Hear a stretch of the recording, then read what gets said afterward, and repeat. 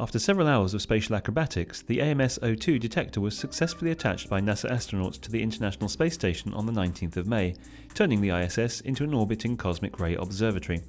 Cosmic rays are particles from space that constantly bombard our planet. No sooner had AMS-02 been installed than it was fully connected and started up. It was an emotional moment for the AMS researchers to see their first data begin to flow from the detector to Houston. They were soon able to record and analyse the first particle tracks, which showed the detector is working well after its journey into space. AMS-02 was launched on the 16th of May aboard the Space Shuttle Endeavour's final mission. The detector reached the space station on the 18th following two days of approach manoeuvres.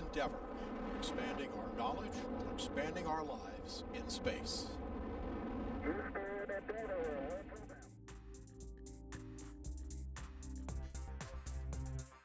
AMS-02 will study cosmic rays with unprecedented sensitivity, notably looking for evidence of dark matter and antimatter, two of the universe's greatest enigmas. AMS-02 begins its mission following some 15 years of preparation, and is now embarking on a research program of 10 to 20 years. Thank you very much for the great ride and safe delivery of AMS to the station.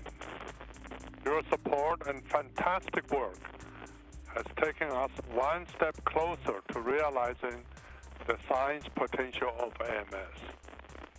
With your help, for the next 20 years, AMS on the station will provide us a better understanding of the origin of the universe.